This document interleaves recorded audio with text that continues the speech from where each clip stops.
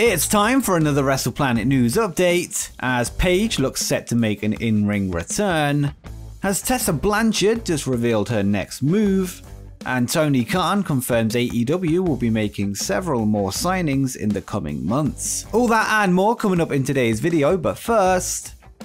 AEW President Tony Khan recently took part in an interview with the Wrestling Observer Radio, where he discussed a number of things all elite wrestling. One of the interesting topics that came up was AEW's future in the UK market, where they have a strong and growing fan base. Khan confirmed that he has plans to hold shows in England from the home of his football club Fulham in London. He revealed, I do want to come to England, it's a huge part of my life. It's a great thing we have with ITV. It's been amazing for us. We have great wrestlers from the UK, male and female. I can't announce exact dates, but I want to bring AEW to Craven Cottage.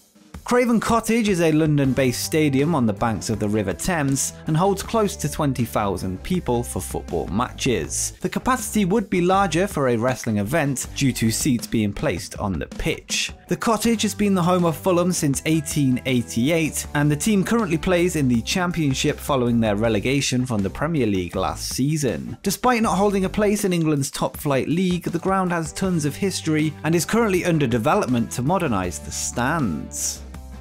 Ric Flair, who was released from his WWE contract by request earlier this month, showed up at last night's NWA 73 event, a promotion near and dear to his heart. Flair gave an emotional speech thanking many legendary names in the wrestling business and said, my wife Wendy, every time I fell down, she picked me up. Just like Triple H picked me up, just like Shawn, Taker, Austin, and everybody else. Vince McMahon, I love you, thank you, that's why I'm here.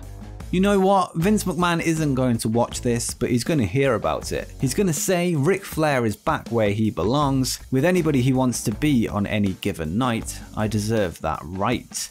And Hunter, thank you for reminding me every time that I'm Ric Flair because I let myself down night after night. He would not give up on me. Hunter didn't care about my WCW run, he grew up as an NWA guy.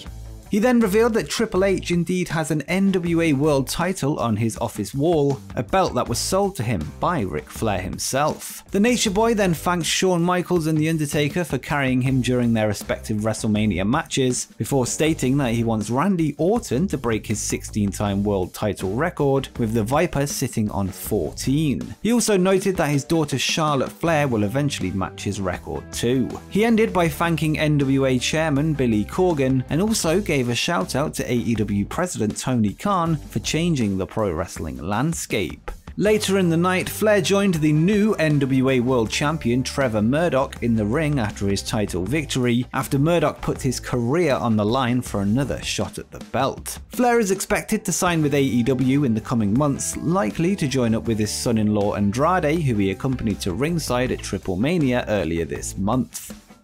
Former WWE Divas champion Paige was forced to retire in 2017 due to neck injuries, ending her near 14 year career at the age of just 25. As we've seen over the years, wrestlers have stepped back in the ring against all odds, and Paige seems to be set on that very path. In the past, she's named Edge and Daniel Bryan as her inspirations, who were both forced to announce their own retirements before eventually making a return. On her Twitch stream, Paige revealed that her contract with WWE WWE is up next June and said, my contract is up in June of next year. Who knows if they would want to give me a new contract? Who's to say that they would want to? If they did, I'd love to have Twitch as part of the contract.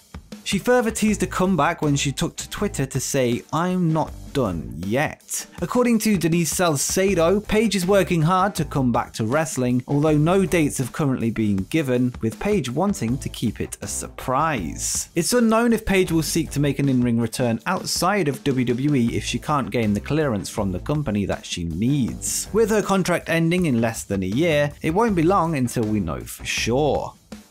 Over the weekend, there was a report from Ringside News that AEW will be transitioning legendary announcer Jim Ross away from full time commentary, with the plan to feature him on big matches and major events. We now have an update on the situation from AEW President Tony Khan as well as JR himself, who have both rubbished the rumours. First, let's start with Jim Ross, who took to Twitter to say, It's news to me. This led many fans to wonder if perhaps the plans had not been revealed to Ross just yet, but according to the the Wrestling Observer, Tony Khan has informed them that there is indeed no such plans in place, something Khan told not only the Observer but also Jim Ross himself. Good old JR signed a three year deal with AEW in April 2019, which means he has around six months left. Earlier this year in May, Ross was asked what his plans were once his deal ends, with him saying that he'd like to take it one year at a time, and he said, I would say I'll do this year and then let's evaluate and see where we are health wise, motivational wise. Then if I come back, I'd like to come back for a year at a time. That way it doesn't put Tony in any unnecessary stress.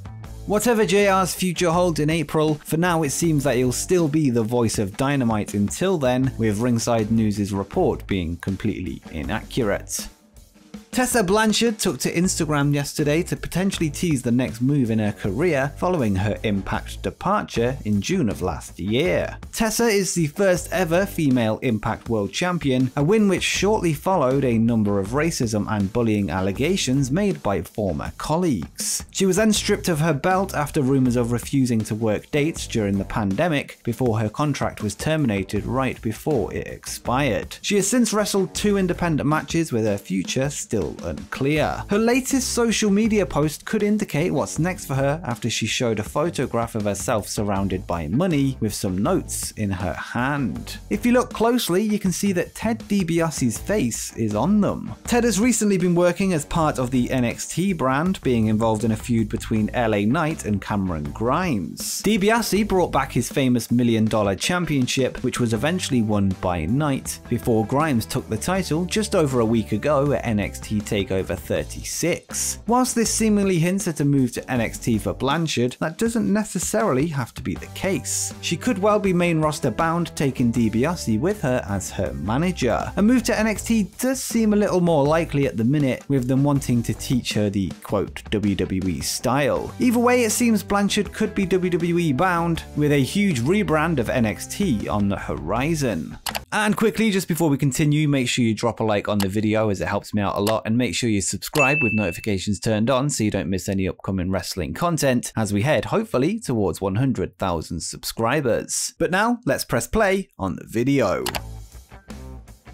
Now let's get to our final story and jump back to the Tony Khan Wrestling Observer interview that we briefly covered earlier in the video, an interview where he addressed a reported AEW debutant. With reports of Bryan Danielson debuting in the promotion this weekend at All Out, Khan was asked about the rumoured signing. Of course he refused to either confirm or deny a similar approach to the handling of CM Punk's debut, although he did have praise for the American Dragon and said, I can't answer that question. I mean, it's fair for you to ask that question, but I couldn't address that on The Observer today. But it's fair for you to ask it, he's one of the all-time greats. Once again, AEW are looking to keep the rumour mill spinning by not ruling it out, something they would likely do if he wasn't indeed showing up. Tony went on to confirm that there will be multiple signings over the coming months, although there were no specific names given, and he said, I'm definitely going to make multiple additions over the next 4 to 6 months. I think there'll be some activity in the near future. I can't specify exactly what it is, and I don't think anybody would really want me to. Just like nobody would have wanted any confirmation of anything going into the first dance of what it was, or how it was going to come off. But I definitely will be active, and have been active signing people from day one in this company. Khan also noted the importance of signing talent and made a big claim ahead of the upcoming AEW All Out pay per view and added, Recruiting talent is key to any wrestling company. It's key to any sports business, whether it's the NFL or English football or wrestling. I think we've built as good a roster as I believe you could build in this amount of time.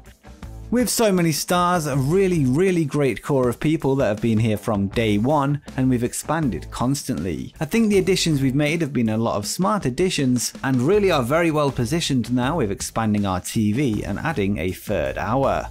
This is when I really wanted to kick into full gear, so to speak. But the timing of it is perfect because going into All Out, which is definitely without a doubt going to be the biggest pay per view event we've done in our history. That is certainly a big promise to make, and with the addition of Bryan Danielson expected to happen this Sunday, I have no doubts that that claim can be pulled off. But if you are checking out the All Out pay per view, make sure you use our FITE affiliate link in the description, where you can get the full show for just $19.99 in certain countries. And before you go, make sure you check out my video where I discuss the 10 hottest free agents in wrestling today.